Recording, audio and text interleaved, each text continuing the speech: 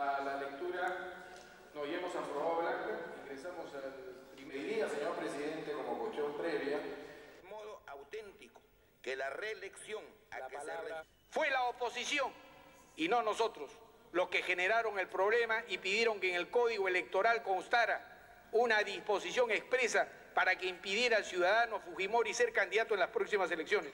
Son ellos y no nosotros los que han traído el tema sobre esta mesa. Otro. Yo voy a pedir que usted retire sus palabras. Está usted faltando a la mesa. Tome asiento. No le voy a, dar curso a esas palabras porque han sido pronunciadas fuera del reglamento. Siga usted. No, señor. No, no tiene usted derecho a hablar. Está usted interrumpiendo la sesión. Tome asiento y cállese. Esta palabra fue justamente el doctor Lo que estamos asistiendo es una posibilidad de inseguridad jurídica tremenda. ¿no? Eh, el presidente entre el 93 y el 95 fue el presidente constitucional, en mi opinión, y sus actos son válidos y por lo tanto este periodo es su segundo periodo y no está autorizado para tener un tercer periodo.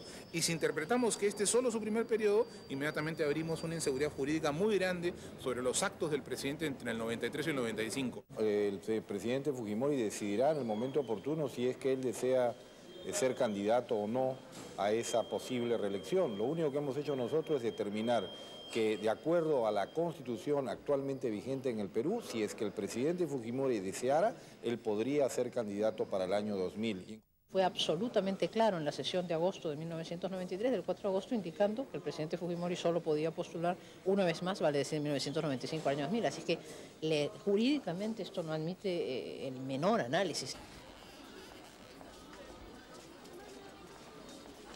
Claro que sí, ¿Por qué? porque es el que hace, lo- por todo lo bien que hace, ha hecho, hace y seguirá haciendo. Debe haber otro gobernante, otro gobernante, debe haber, hay que cambiar. Nuevamente. No, piensa quedarse dueño del Perú. Ha hecho bastante trabajo, ha desarrollado bastante labor, pero es necesario de que también otros peruanos ah, lleguen a la presidencia de la República porque pueden tener mejores iniciativas. No votaría por él. La mayoría de la opinión pública está en contra de la posibilidad de la reelección.